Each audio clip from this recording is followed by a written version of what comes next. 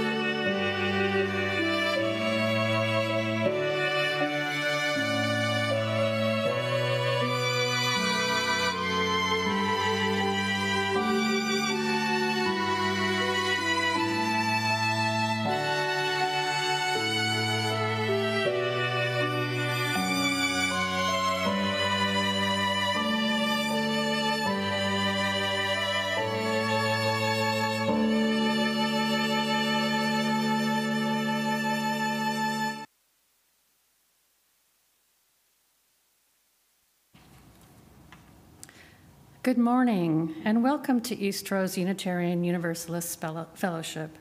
I'm Jan Applin Curtis, your worship leader today, and we're happy you have chosen to join us in online worship. If you are visiting for the first time today, a special welcome. We are glad you sought us out and hope you return again in the future.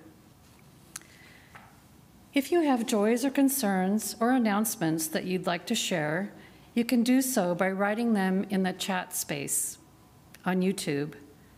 They will be shared at the appropriate point in the service. Joys and concerns is earlier in the service than what many of us are used to, so please add yours in the chat soon or by story time today. For future reference, you also have the option to email a joy, concern, or announcement to worship at eastrose.org no later than Saturday, the day before the service. After the conclusion of each service, there will be a Zoom cafe conversation time for all of us to visit. Just exit YouTube and log into the Zoom link provided on our website. Our congregation honors those who first lived on the land where our church stands. Traditional village sites of the Multnomah, Cathlamet, Clackamas, Chinook, Tualatin, Kalapuya, Molalla, and many other tribes and bands. Our speaker today is our own Reverend Patty Pomerantz. Her topic, the Transcendentalists, who they were, how they related to Unitarian Universalism, and what they have to teach us today.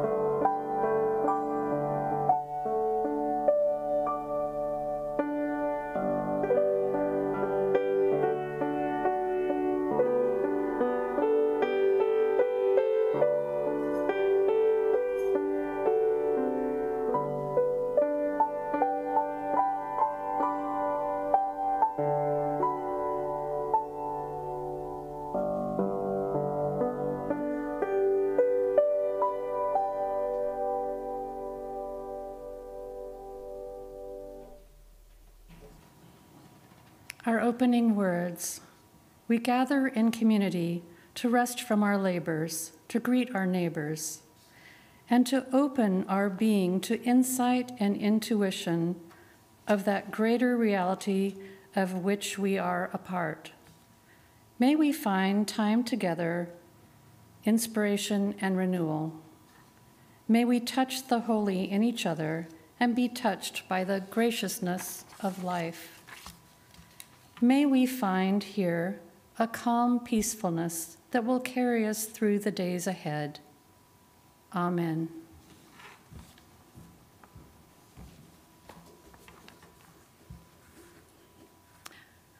Chalice lighting. This fire is a reminder of the light within us all, the yearning for freedom, the longing for truth, the flame of intuition, the torch of consciousness, we dedicate this service to the remembrance of the holy light.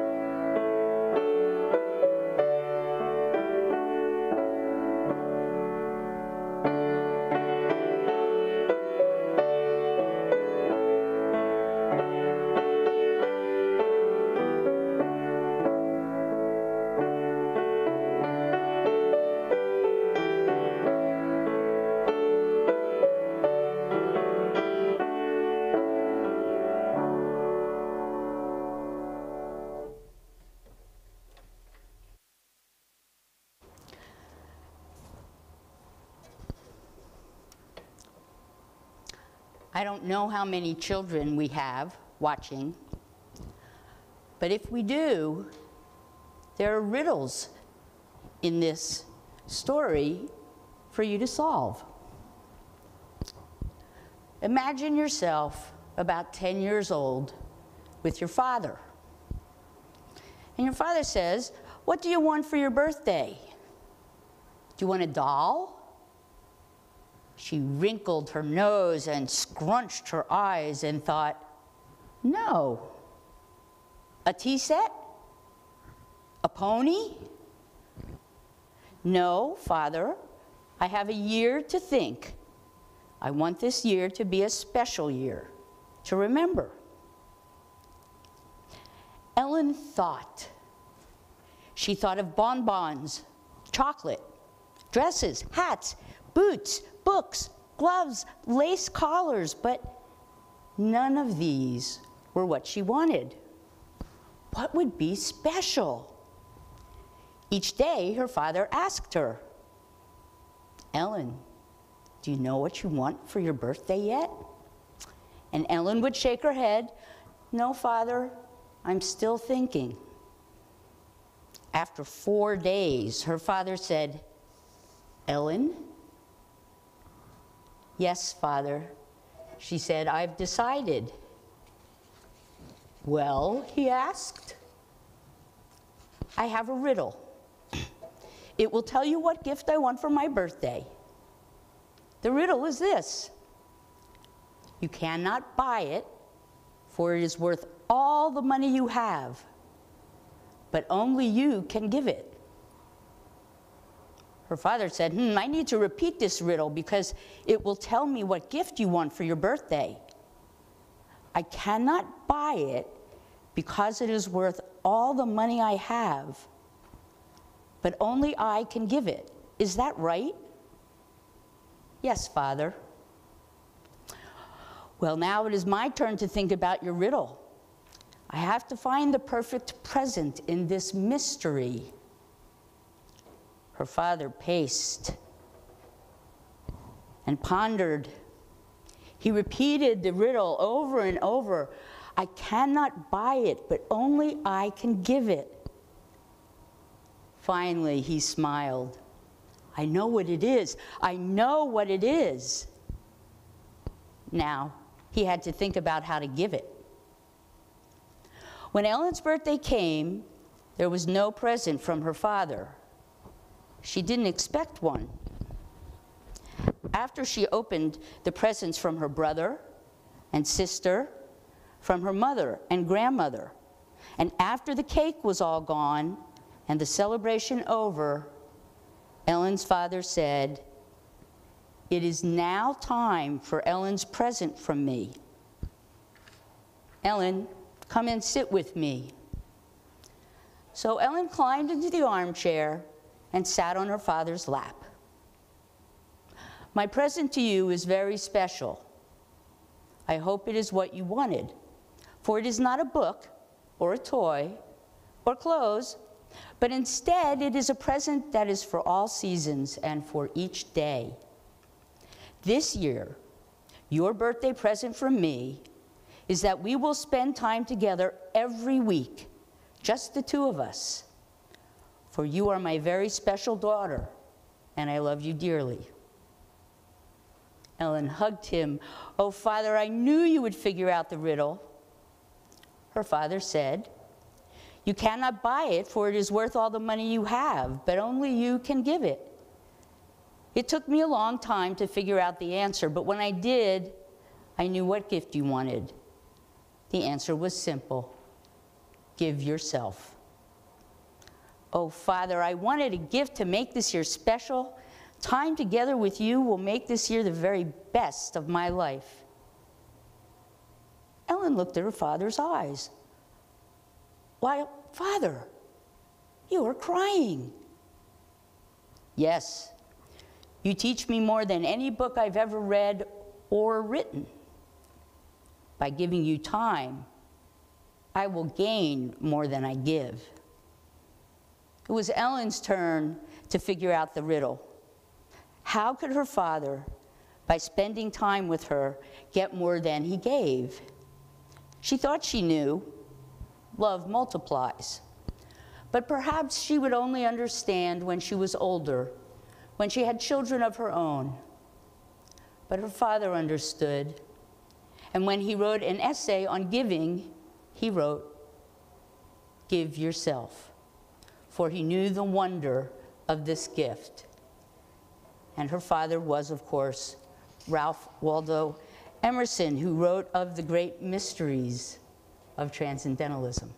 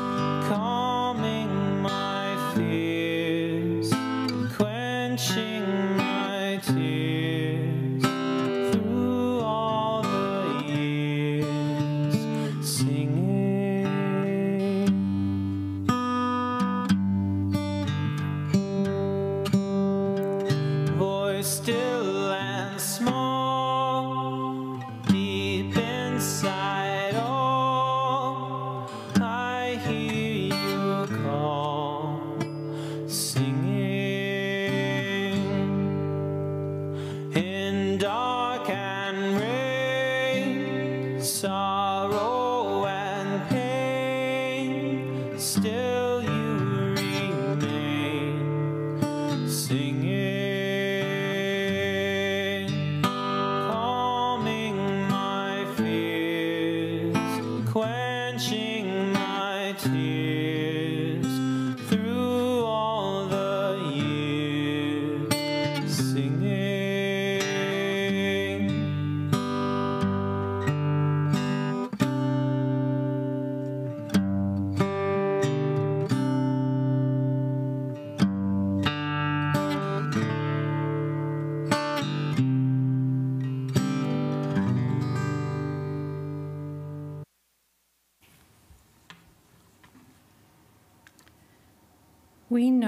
that our financial contributions to this congregation come from sacrifice and hard work. We are so grateful for this and commit together to ensure the funds we gather collectively do a greater good for ourselves and our world than they could have done alone. May there be an offering to sustain and grow the life and mission of this congregation. May we give in love and in hope.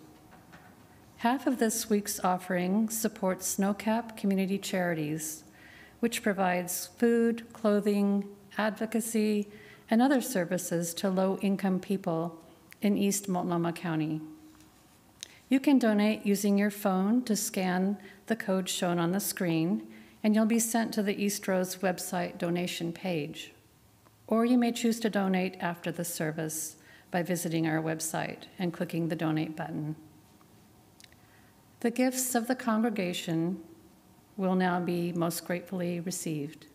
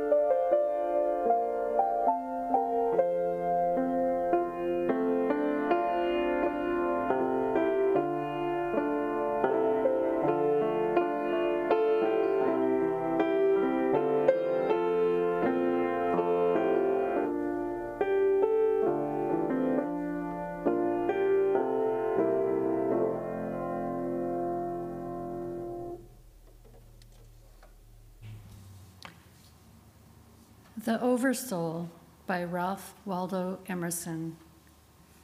Let us learn the revelation of all nature and thought, that the highest dwells within us, that the sources of nature are in our minds.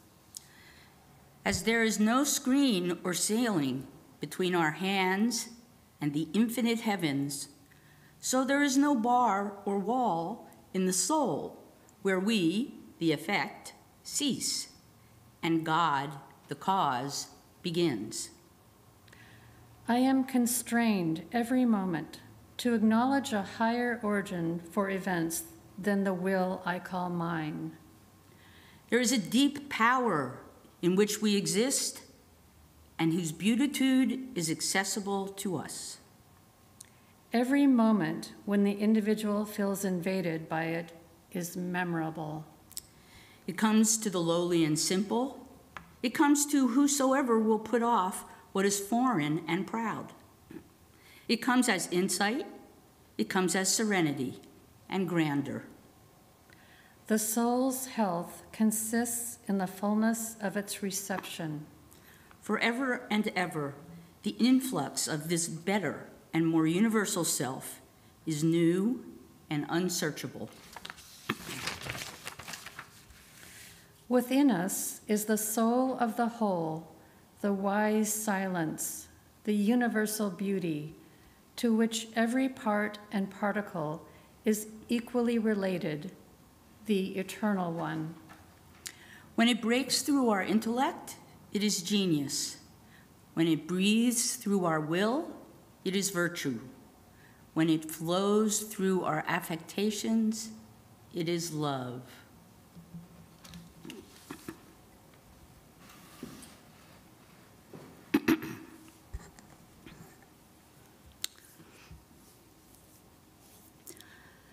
The definition of transcendentalism from the Stanford Encyclopedia of Philosophy reads Transcendentalism is an American literary, philosophical, religious, and political movement of the early 19th century centered around Ralph Waldo Emerson. That's at least four sermons, and I'm not going to do that to you or me. This reflection centers on a new book by John Buehrens, former president of the Unitarian Universalist Association, called Conflagration How the Transcendentalists Sparked the American Struggle for Ra- Racial, Gender, and Social Justice. When I started reading it, I thought, oh my, this is dense. So many little details about different relationships. By the end, I thought, this is reading like a soap opera. Because what it's really about is a small group of people and their relationships to one another. It's an example of the saying, there is no history, only biography, which has always spoken to me as I do not do very well studying history, but bi- biography I can handle.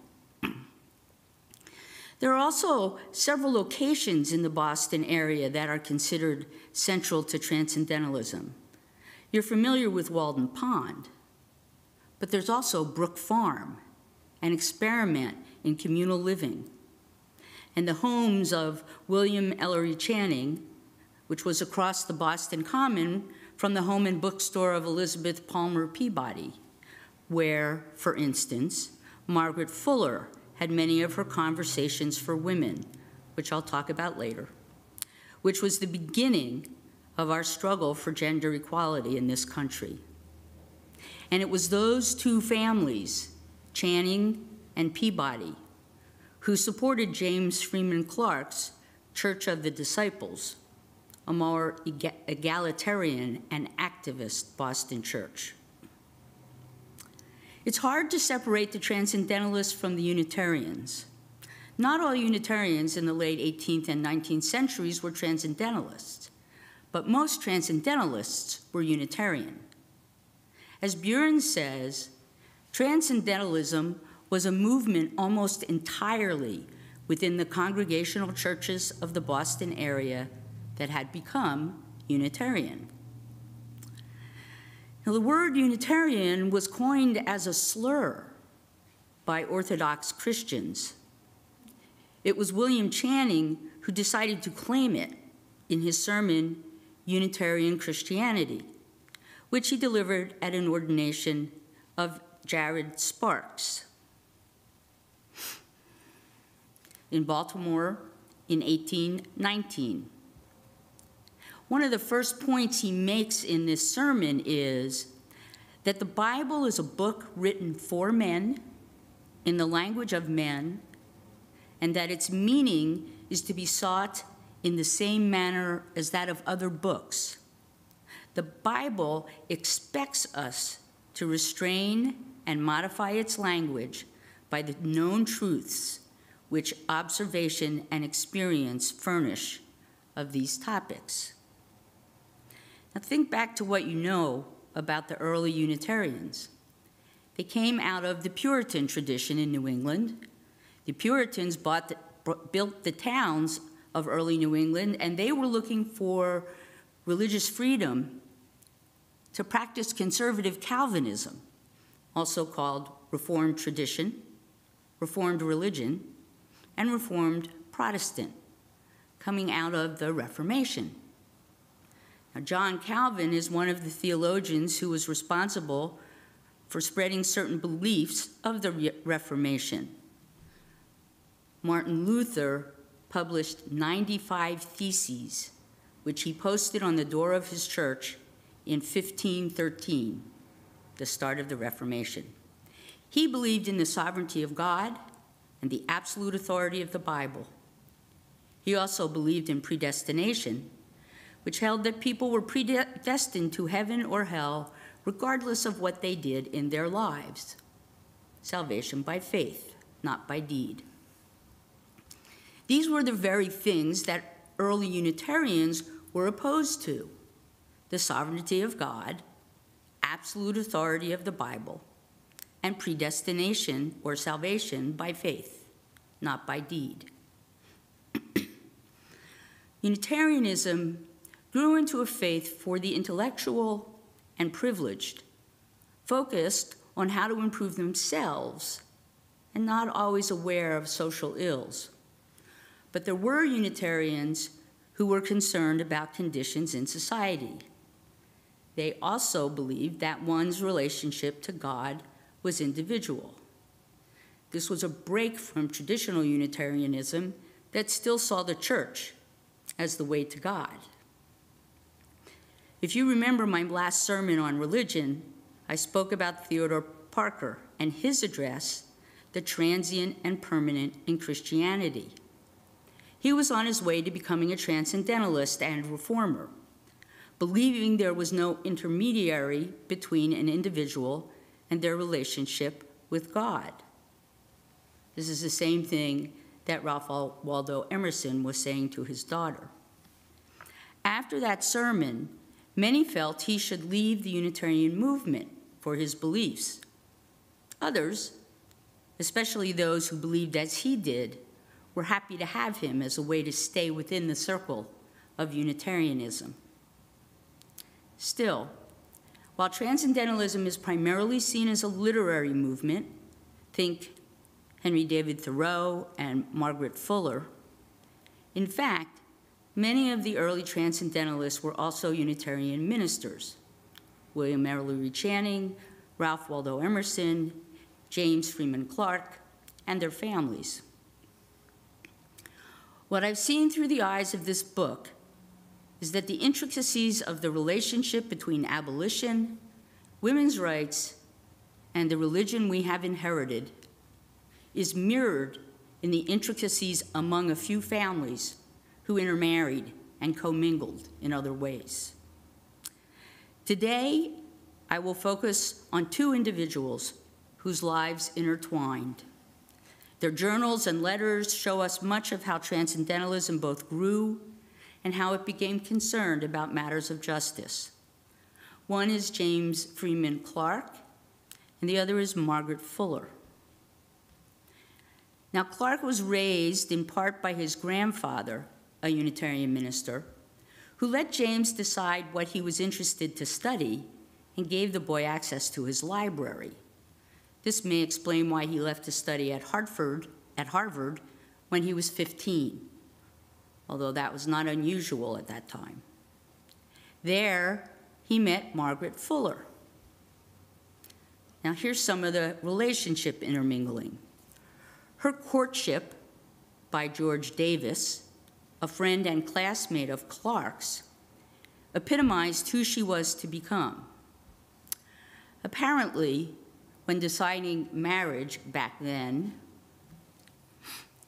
the last thing the suitor asked about was religious beliefs to make sure there would be no embarrassment to the groom's family. When Davis asked Margaret, she refused to compromise her views, replying, she was singularly barren of illusions in matters of faith and unwilling to have her deepest feelings soothed by any doctrine. Davis never responded. Now, Clarke was also frustrated in his relationship to Elizabeth Randall, a friend of Margaret's. James had a quarrel with Elizabeth and then promptly apologized in a note to her. She never responded. Asking Margaret's advice, Margaret neglected to tell him that Elizabeth never responded because Margaret intercepted the letter. Fuller believed that Elizabeth wasn't worthy of Clarke and that Clarke wasn't ready for marriage. When the truth came out, sometime later, Clarke agreed with Margaret's reasoning. Imagine if that were to happen today. Now, James loved the country, which is why he spent so much time on his grandfather's farm. He credits this with his love of nature, which inspired much of Transcendentalism, as his grandfather based his tutoring on James' own interest. Now, James, the grandfather, was the minister of King's Chapel, an important Unitarian church in Boston still today before he retired, he helped to start the American Unitarian Association, the precursor of the Unitarian Universalist Association. After college, Clarke needed to settle on a career. Because he admired his grandfather, he decided on ministry. It was Margaret, among others, who encouraged him. When he was ready for his own church, rather than taking one in the Boston area, which he did not feel prepared for, he decided to evangelize in the West and took a pulpit in Louisville. He went on be, being actively engaged in the new Unitarian churches in the West, and then he also ran the Disciples Church in Boston, and he became a very early proponent of comparative religion. Fuller, meanwhile, was the first woman to attend the Transcendentalist Circle that was hosted by Emerson, and a second hosted by her friend Clarke. She too had to earn a living. And with encouragement from both men, she hosted a set of lectures called Conversations with Women, for which she charged $20, and which was attended by about 12 women. Among other things, she spoke about, quote, and remember this is in 1840, gender polarity and subordination assumed in Puritan culture. Among the attendees, most of whom were of considerable privilege, considering they had to pay $20 back then, was Lydia Maria Francis Child, who Buehrens says is the most neglected female transcendentalist of her time. Another sermon. She and Fuller later moved to New York, where they were both writers and spiritual friends. Now, spiritual friendships were important to transcendentalists, both because they often differed theologically and because their individual journeys were so isolated. They still exist today in Quaker circles. But imagine for a minute if you had one other member of Eastrose as a spiritual friend, hopefully someone whose theology is different from your own, and that you got together solely for the purpose of deeply listening to each other's beliefs. This is one thing that happened in transcendentalism in the mid 19th century, partly to facilitate their goals of both abolition and women's rights. Here's what Buehrens says about James Freeman Clarke's and Margaret Fuller's spiritual friendship. Clarke, close to Fuller since their young adulthood, exemplifies the transcendentalist commitment to the practice of spiritual friendship, often transcending differences in gender, class, opinion, and particularly radical for the time, race. That ideal stemmed from the conviction that only by helping others realize their moral, spiritual, and creative potential can one fulfill one's own. And only through mutual concern can just communities begin to emerge. Clarke edited the first transcendentalist journal, the Western Messenger. Fuller, also a journalist, um, Clarke published some of her early essays in his journal.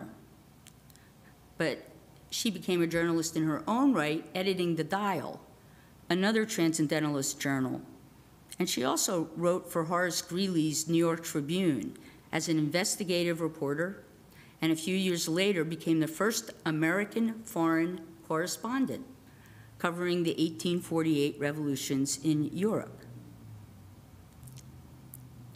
As she edited The Dial from 1840 to 1844, and men failed to submit promised pieces, she filled an issue with her own essay, The Great Lawsuit Man versus Men, Woman versus Women. In it, she, quote, argued for a future in which inward and outward freedom for women, as much as for man, shall be acknowledged as a right, not yielded as a concession. As the friend of the Negro assumes that one man cannot by right hold another in bondage, so should the friend of women assume that man cannot, by right, lay even well meant restrictions on women. If the Negro be a soul, if the woman be a soul, apparelled in flesh, to one master only are they accountable. End quote. Now, she went to Rome to escape for a time some of the negative responses to her writing. There she met a young revolutionary and had a child. And to this day, no one knows if they married, because when, the 18, when in 1849 the Roman Republic failed, the three, husband, wife, and child, sailed to America, only to fall victim to their ship's wreck near Fire, near Fire Island. And most of their belongings were destroyed. Boston was also an important part of the Underground Railroad. It had both proponents and opponents among Unitarians. Boston also had a well established free black community. It was the Transcendentalists, both black and white, who promoted both abolition and what they called higher law, which we might call civil disobedience, when what we believe to be moral is contradicted by actual law, like the Fugitive Slave Act. Clarke met John Brown while visiting a neighbor and parishioner who had been beat up on the Senate floor following a speech against the expansion and sexual exploitation of slavery. Clarke also met Frederick Douglass and the first black attorney in Boston, Robert Morris. Clarke and Theodore Parker had an unlikely compassion, companionship, a spiritual friendship as they were theologically very different. Clarke was a Unitarian Christian, while Parker was considered an infidel in Unitarian circles. He found an absolute religion at the core of all faith traditions, asking only that we love God or the ground of our shared ex existence and our neighbors as ourselves, and helped to inspire Clarke to use a period of recuperation from a serious illness to study non-Christian traditions. Clarke went on to teach ethnic religions, taught the first courses in comparative religions at Harvard, and published a two-volume study, 10 Great Religions, that went through 22 editions. With their openness to religious pure, pluralism, the Transcendentalists then helped to pave the way for greater interfaith dialogue and cooperation in matters of justice. Clarke worked with his old friend, Henry Whitney Bellows, to send Thomas Starr King to California, where he helped Bellows to develop the U.S. Sanitary Commission.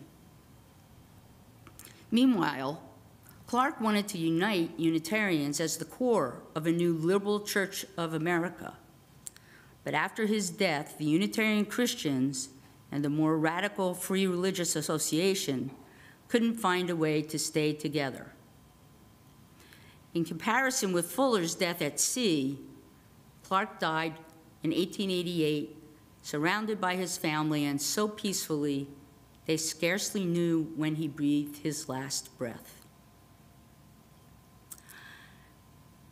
Now, I have only barely touched the surface of the stories of these two great transcendentalists and how they influenced one another in so many aspects of their lives.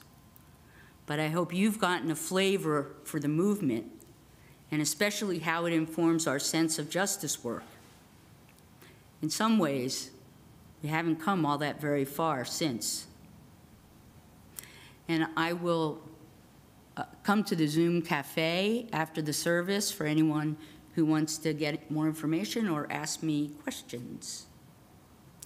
And now I invite you to join in our closing hymn, Light of Ages and of Nations.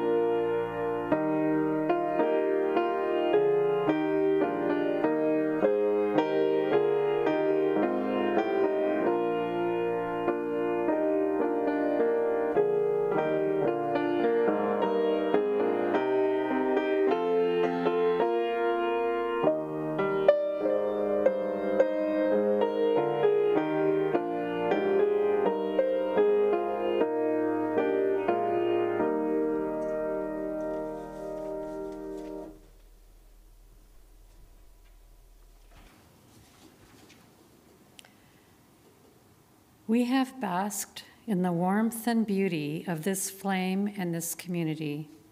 As the chalice flame is extinguished, let us carry its glow within. Let us kindle new sparks within these walls and beyond.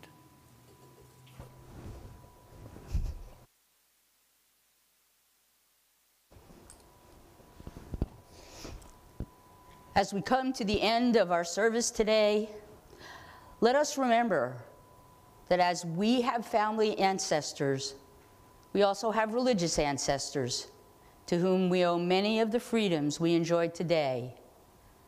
Let us be thankful to those known and unknown who have given us life, curious minds, and the will to keep searching. Amen.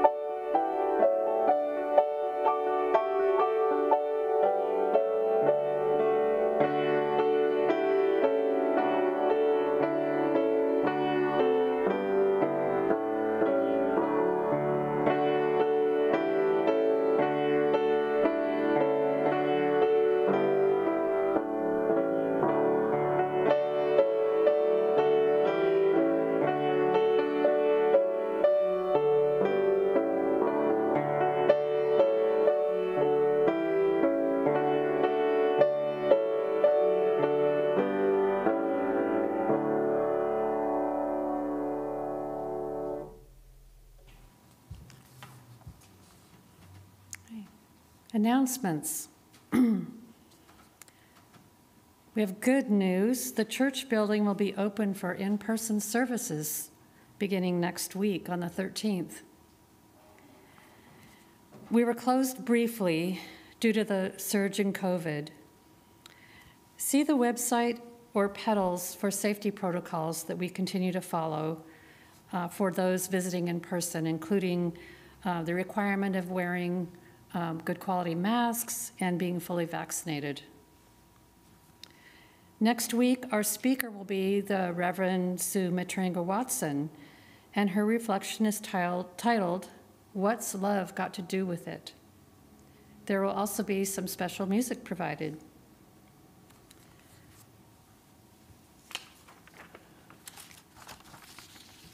We have um, an announcement about the chalice lighters.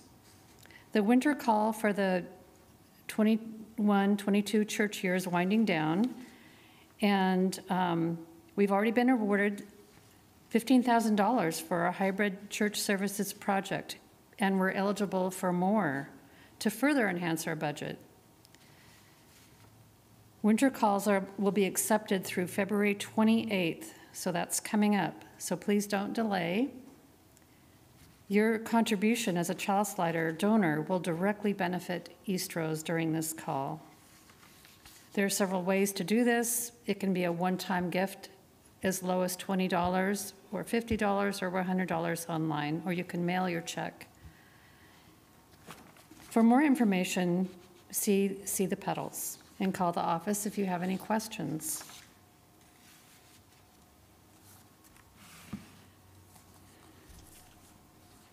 Before we conclude today's service, I'd like to thank those that were involved today. Reverend Patty, thank you. Mary Rees, beautiful music and visuals to go along with the music, and our wonderful AV tech team in the back here, Phyllis Adams and John Netherton. Thank you all. So um, this concludes today's service, and you're invited to join us at the Zoom Cafe Conversations. Sherry will put the link in the chat, or you can also check your, the website or the pedals for the link to join. Thanks, everybody.